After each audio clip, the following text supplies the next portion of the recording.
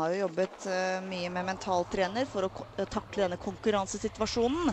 Vært mye god i kvalik, sliter i renn.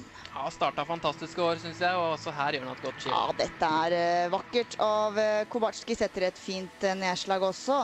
Safer inn en plass i konkurransen i morgen. Alle de fire første dommerne er oppe med 18-tallet. Ja, Polen de har jobba bra i sommer, det er tydelig å se. De har eh, et helt lag som presterer eh, høyt her. Og David Kobachi har virkelig tatt eh, steg i riktig retning. Han er jo en krafthopper, absolutt, men i år får han også med seg farta, så han flyr ut av bakken. og Det, det er moro.